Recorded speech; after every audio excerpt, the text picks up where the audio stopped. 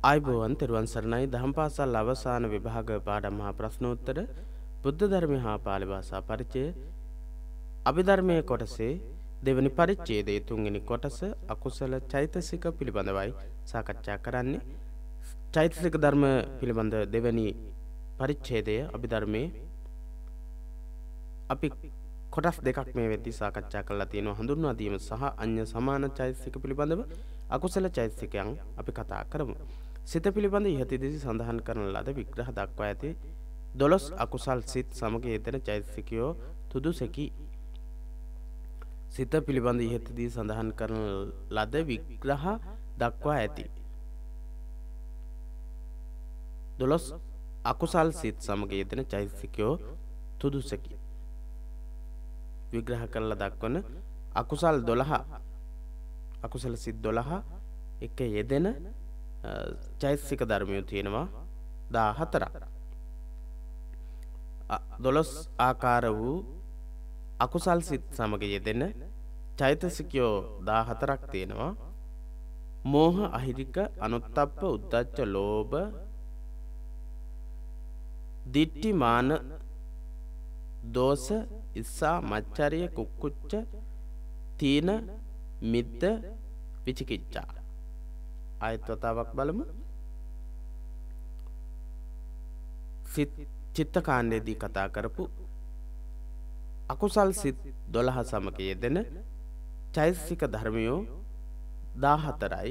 එදා හතර මෝහ අහිරික අනුත්තප්ප උද්දච්ච ලෝභ දිට්ටිමාන දෝස ඉස්සාමච්චරිය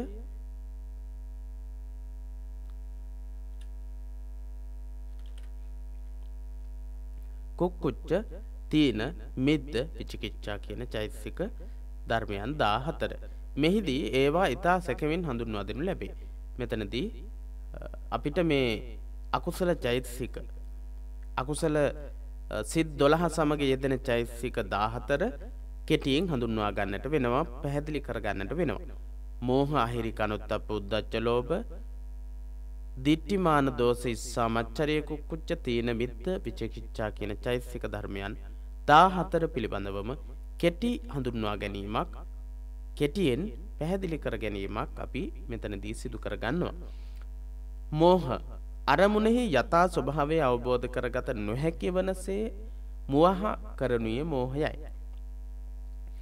අරමුණෙහි යථා ස්වභාවය ඇත්ත ස්වභාවේ නියම ස්වභාවය අවබෝධ කරගන්නට බැරිව නොහැකිව මුවා කරන්නේ මෝහය කියන මේ චෛතසික අකුසල චෛතසික ධර්මය නිසා. මුලාව මෝඩකම අවිද්‍යාව ආදී විවිධ නම්වලින් හැඳින්වෙන බලවත් අකුසල චෛතසිකයක් තමයි මෝහ කියන්න. මුලාව මෝඩකම අවිද්‍යාවාදී නම්වලිනුත් මේ මෝහ කියන චෛතසිකය හඳුන්වනවා. අකුසල මූලයක් ලෙසද දැක්වෙනවා. අකුසල මූලයක් ලෙස දැක්වෙන සිතෙහි යථා ස්වභාවය අවබෝධ කර ගැනීමේ ශක්තිය මුවා කරන අකුසල චෛතසික ධර්මය කුමක්ද මුලාව ඇති කරන මෝඩකම අවිද්‍යාව යනුවෙනුත් හැඳෙන් වෙන චෛතසික ධර්මය කුමක්ද කියලා අහන්න පුළුවන් කෙටි ප්‍රශ්නයකදී එතකොට ඔබට මතක තියෙන්නට ඕන අකුසල චෛතසික වලින් පළවෙනියටම හම්බ වෙන අකුසල ධර්මය තමයි මෝහ කියන්නේ. අහිරික පාපයට ලැජ්ජා නැතිකමයි. පාපයට ලැජ්ජා නැතිකමට කියනවා අහිරික කියලා. පව් කරන්න ලැජ්ජා නැත්නම් ඒක අහිරික. අනුත්තප්ප පාපයට බය නැතිකම පව් කරන්න බය නැතිකම අනුත්තප්ප. ඒ ඒත් අකුසල චෛතසිකයක්. උද්දච්ච සිතෙහි නොසන්සුන් බව හෙවත් තැන්පත් කමක් නැතිකම උද්දච්ච. හිතේ විසිරුණු ස්වභාවය. සිතිවිලි විසිරුණු ස්වභාවයට කියනවා උද්දච්ච කියලා.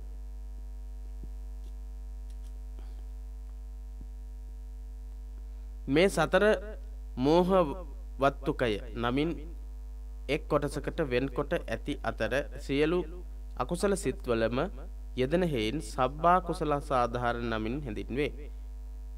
මේ හතර අපි බලමු මේ හතර මොනවද කියලා ඒ හතර තමයි මෝහ හෙවත් මුලාව මෝඩකම අවිද්‍යාව අහිරික පවට ඇති ලැජ්ජාව බය උද්දච්ච. මේ කියන හතර අකුසල චෛසික වල තියෙන පළවෙනි හතර මෝහවත්තුක කියලා හඳුන්වනවා. එහෙම නැත්තම් සබ්බා කුසල සාධාරණ. සබ්බා කුසල සාධාරණ විදිහටත් මේ චෛතසික ධර්ම හතර හඳුන්වනවා. අකුසල සිත්වලම යෙදෙනෙහි සියලු අකුසල සිත්වලම යෙදෙන හින්දා තමයි සබ්බා කුසල සාධාරණ කියලා කියන්නේ. සියලුම සිත්වල යෙදෙන හින්දා යෙදෙන චෛතසික ධර්මයන් පිළිබඳව සාකච්ඡා කළා මීට කලින් පාඩමේදී සබ්බ චිත්ත සාධාරණ කියලා. එහෙනම් මෙතනදී සියලු අකුසල සිත්වලම යෙදෙන හින්දා ඒ චෛතසික වලට මේ චෛතසික හතරට අපි කියන නම තමයි සබ්බා කුසල සාධාරණ. මෝහ අහිරික අනුත්තප්ප උද්දච්ච.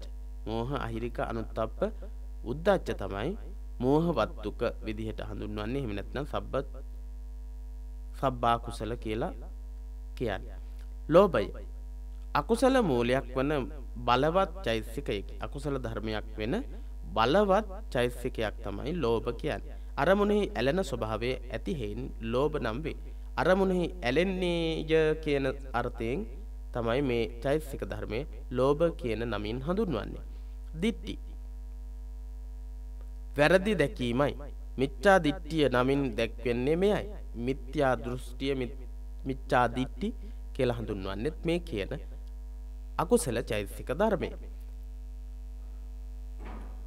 තම අදහස සත්‍යය සෙසු සියල්ල අසත්‍යය.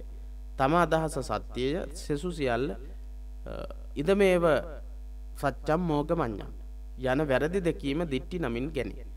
මේකම තමයි සත්‍යය අනිත් ඒවා අසත්‍යයි කියල කියන එක තමයි දිට්ටි කියලා කියන්න. මානය තමා උත්සස්ය අනුන් පහත්වය යන හැඟීම. සේයමාන සදමාන හීනමාන මේ විදිහට මානයේ කොටස් වර්ගී කරණයන් තියෙනවා. ඉතින් තමා උසස් අනුන් පහත් කියල යන හැඟීමෙන් කටයුතු කරන උඩඟු බවින් කටයුතු කරන අහංකාර කියන වචන වලින් හඳුන්වන්නේ මානය කියන චෛසික ධර්මය. උද්දම් භාගී සංයෝජනයක් ලෙසද ගැනෙන මානය රහත් මග දක්වා ඇතිවෙන චෛතසිකයකි. උද්දම් භාගීය සංයෝජනයක් සංයෝජනවල කොටස් අපි සාකච්ඡා කරලා තියෙන මීට කලින් පාඩම්වලද ඒ නිසා ඒ පිළිබඳව අපි මෙතනදී සාකච්ඡා කරන්නේ නැහැ. මානය කියන චෛතසික ධර්මය වැදගත් වෙනවා ගොඩක් වැදගත් වෙනවා ඒ තමයි නිවන් අවබෝධ කරගන්න තාක් රහත් භව දක්වාම පවතින චෛතසිකයක් තමයි මානය කියන්නේ. ඒ විතරක් නෙමේ උද්දම් භාගීය ඕරම් භාගීය කියල සංයෝජනවල කොටස් දෙකක් තියෙනවා අතරින් උද්දම් භාගීය සංයෝජනයක් විදිහටත් සැලකෙනවා මානය ලෝබය දිට්ටිය මානය යන චෛතසික ලෝබත්ත්‍රිකය නමින් වර්ග කරන අතර ලෝබමූලික සිත් සමඟ සමගම උපදී. ලෝබමූලික සිත් සමඟ උපදින චෛස්සික ධර්මයන් තුනක් තියෙනවා ඒ චෛස්සික ධර්ම තුන තමයි ලෝබදිට්ටි මාන කියන චෛස්සික ධර්ම තුන. මේවා හඳුන්වන්නේ ලෝබත්ත්‍රිකය විදිහට. ලෝබත්ත්‍රිකය ලෝබය මුල් කරගත්ත ලෝබය පදඩම් වෙච්ච නිසා මේ තුනට කියනවා ලෝබත්ත්‍රිකය කියලා.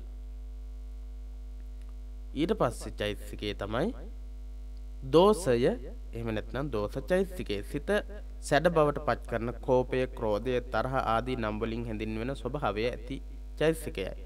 අපි සිතේ ස්වභාවයන් පිළිබඳව කතා කරනවා හිතේ සැඩ බව ඇති කරන කෝපය ක්‍රෝධය තරහ මේ වගේ සියලුවම මානසික ස්වභාවයන් පවතින මේ දෝසය කියන චෛත්සිකය යටතේ. අකුසල මූලයක් වන දෝසේ දවේශය තම සිත ඇත්ති ඉටුකර ගැනීමට බාධා ඇතිවන විට උපදින්නකි. තමන්ගේ සිතැඟි හිතේ තියෙන දේවල් ඉටුකර ගණ්ඩ බැරි වෙනකොට ඇතිවෙන්න වූ සිතිවිල්ල චෛත්සිකයක් තමයි දෝසකයන් ඉස්සා අනුන්ගේ සැප යස ඉසුරු නොයිවසන සුළු ස්වභාව ඉස්සා ඊර්ෂයානම්බේ. අනුන්ගේ යස ඉසුරු ඉවසීමට නොහැකිකම ඉස්සා හෙවත් ඊර්ෂ්‍යාව ඉස්සාව කියල කියනවා. මච්චරිය. තම සම්පත් සඟවන ස්වභාවයයි. මච්චරිය. මච්චරිය කෝසිය. අපි දන්නවා මච්චරී කෝසිය සිටුවරයා තමන්ගේ ධනය ආදිය දකින නිසා හත්වෙනි තට්ටුවේ උඩට ගිහිල්ලා තමයි කැවිලි හදාගෙන කන්නට උත්සාහ කළේ. අදින්න පුබ්බක තමන්ගේ හතලිස් කෝටියක් ධනය දකී කියලා තමන්ගේ පුතා පාණ්ඩු රෝගය හැදුනට පස්සේ පිළිකන්නේ ඇඳක තියලා තිබුණු බව අපි දන්නවා. මේ මච්චරී කියන පුද්ගලයාගේ මසුරුකම කියන චෛස්තික ධර්මය ක්‍රියාත්මක වෙනකොට ඇතිවෙන්නව ස්වභාව තමන්ගේ සම්පත් සඟවන ස්වභාවේ අනිත අයට දකින්නටවත් දෙන්නට කැමති නැති ස්වභාවයට කියන මච්චරිය කියලා. අනුන්ට තම සම්පත් නොදීම පමණක් නොව අනුන් විසින් දැකීම පවා නොයවසන ගතිය මේ මච්චරී කියන චෛතසකයෙන් කියවෙනවා. කුක්කුච්ච කළ නොකළ දුසිරිත් පිළිබඳව සිතෙහි පවත්නා විපිලිසර ගතිය. දෝස ඉස්සා මච්චරිය කුක්කුච්ච යන සතර දෝස චතුස්ක දෝස චතුස්ක ඔව් කුක්කුච්ච කියන්නේ තමන් කරපු නොකරපු දුසිරිත් පිළිබඳව හිතේ පවතින විපිලිසර ස්වභාවය කුක්කුච්ච කියලා කියනවා. දෝස ඉස්සා මච්චරය කුක්කුච්ච දෝස ඉස්සා මච්චරය කුක්කුච්ච කියන්නේ දෝස චතුස්ක නමින් දැක්වේ දෝස චතුස්කය විදියට. අපි මේ වෙද්දි ලෝබත්‍රිකය කතා කලා දෝස චතුස්ක කතා කලා දෝස චතුස්කය. ඊට කලින් අපි කතා කලා මෝහ වත්තුකය. සබ්බා කුසල සාධාරණ චෛතසිකයන් හතරක් කතා කලා ඊට පස්සේ ලෝබත්‍රිකයට චෛතසික තුනක් ඇතුළත් වුණා. ඊට පස්සේ අපි කතා කළේ දෝස චතුස්ක. දෝස දෝසය මුල් කරගත්ත චෛතසික ධර්ම හතරක් නිසා මේ හතර දෝස චතුස්ක කියලා හඳුන්වන. දෝමනස්ස සහගත පටික සම්පයුත්ත සිත් දෙක්හි පමණක් මේ චෛතසික පහළ වේ. දෝමනස්ස සහගත පටික සම්පයුත්ත සිත් දෙකක් තියෙනවා. දෝස සිත් දෙකයි දෝමනස්ස සහගත පටික සම්පයුත්ත අසංකාරික සිත දෝමනස්ස සහගත පටික සම්පයුත්ත සසංකාරික සිත කියලා. ඉතින් මේ දෝස සිත් දෙක සමග පමණයි මේ අපි කියපු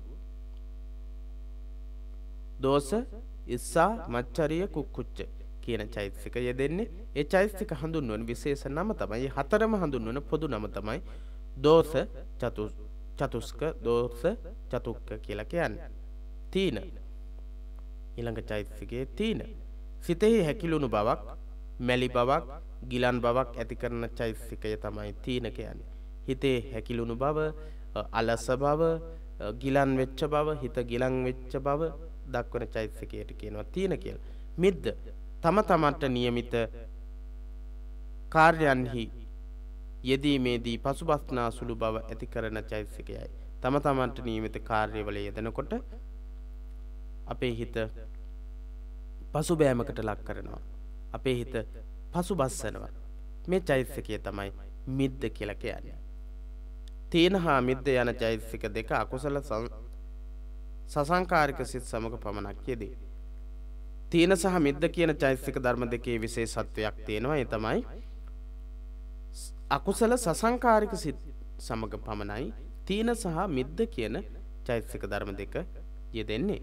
විචිකිච්චා සත්‍යය පිළිබඳ පවත්නා සෑම සැකයක්ම මේ ගණයහිලා සැලකේ.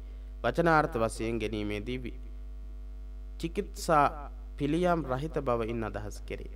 සත්‍යය පිළිබඳව පවත්නා සෑම සැකයක්ම තමයි මේ විචිකිච්ඡා කියන එකින් කතා කරන්නේ.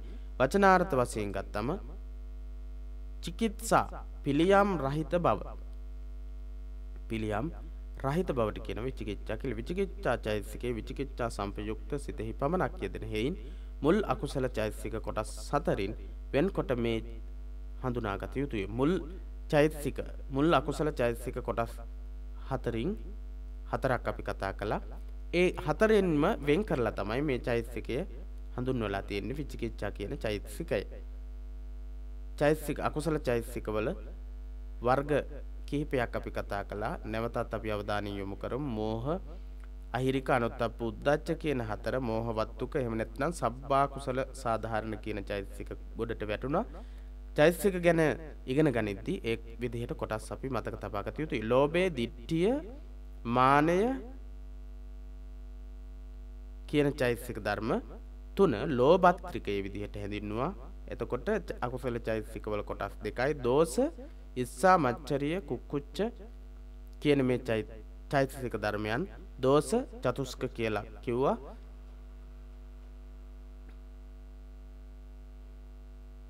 එතකොට කොටස් තුනයි තීන මිද්ද කියන චෛතසික. අකුසල සසංකාරික සිත් සමග පමණක් යෙදෙන චෛතසික දෙක තීන මිද්ද දෙක ඊළඟ කොටස විචිකිච්ඡා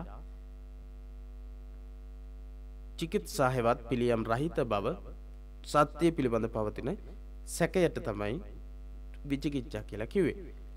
විචිකිච්ඡා කියන චෛතසිකය විචිකිච්ඡා සම්පයුක්ත සිතෙහි පමණක් යෙදෙනවා. චෛතසික කොටස් හතරින් මේ චෛතසික ධර්මයේ වෙන් කරලා තියෙනවා එක චෛතසිකයක් විදිහට. ඉතින් ඒ විදිහට තමයි චෛතසිකවල අකුසල චෛතසික පිළිබඳව අපිට ඉගෙන ගන්නට තියෙන්නේ.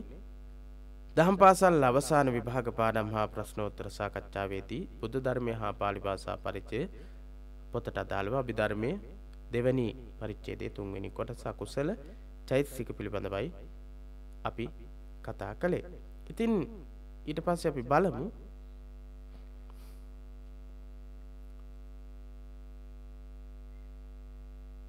චෛතසික ධර්මයන් පිළිබඳව මොනවද මීට කලින් වරසවලදී මීට කලින් අවුරුදුවලදී අපෙන් අහලා තියෙන්නේ ප්‍රශ්න අහලා තියෙන්නේ කියලා.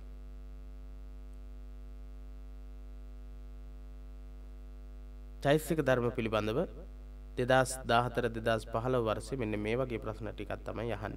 චෛතසික ලක්ෂණ හතර දක්වන චෛතසිකයන්ගේ ප්‍රධාන බෙදීම් සංඛ්‍යා සමග ඉදිරිපත් කරන්න චෛතසිකයන්ගේ ප්‍රධාන බෙදීම් සංඛ්‍යාත් එක්ක ඉදිරිපත් කළ යුතුයි. ප්‍රකීර්ණක චෛතසික නම් වශයෙන් ලියා ඒවාට ඒ නම විවහාර කිරීමේ හේතුව පෙන්වා දෙන්න. විරති චෛතසික පිළිවෙලින් නම් කර ඒවා පිළිබඳ හැඳින්වීමක් හැඳින්වීම කරන්න කියන ප්‍රශ්න. ඉතින් ඒ විදිහට අනිවාර්යෙන්ම අභිධර්මයේදී ප්‍රශ්නයක් සකස් වෙනවා චිත්ත චෛතසික රූප නිබ්බාන කියන මේ කොටස් වලින්. එහෙමනම් අනිවාර්යයෙන්ම චිත්ත චෛතසික රූප නිබ්බාන කියන කොටස් සියල්ලක් පිළිබඳවම හොඳ අවබෝධයක් හොඳ වැටහීමක් අපිට තියෙන්නට වෙනවා. ඉතින් ඒ චෛතසික ධර්මයන් පිළිබඳව පිළිතුරු ලියන්නට නම් අපි මේ පාඩමේ තියෙන විෂය කරුණු හොඳින් ධාරණය කරගෙන සිටිය යුතුයි. ඒ නිසා ඔබ ඒ කෙරෙහිත් අවධානය යොමු කරන්නට කියලා සිහිපත් කරන ගමන් මේ පාඩමින් සමුගන්නට තමයි අපි සූදානම් වෙන්නේ.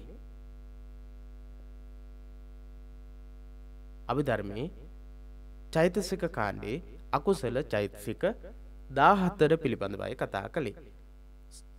අන්‍ය සමාන චෛතසික 13යි අකුසල චෛතසික 14යි. අපි එතකොට මේ වෙද්දී සාකච්ඡා කරලා තියෙනවා. ඒ වගේම මූලික හැඳින්වීමත් මූලික හඳුනා ගැනීමත් සිදු කරගෙන තිබෙනවා. එසේනම් මේ පාඩමින් සමුගන්නවා ඊළඟ පාඩමින් හමුවීමේ බලාපොරොත්තුවෙන් ඊළඟ පාඩමේදී අපි සාකච්ඡා කරන්නට බලාපොරොත්තු වෙනවා චෛතසික පාඩමේ ඊළඟ කොටස. එසේනම් ඔබට තෙරුවන් සරණයි.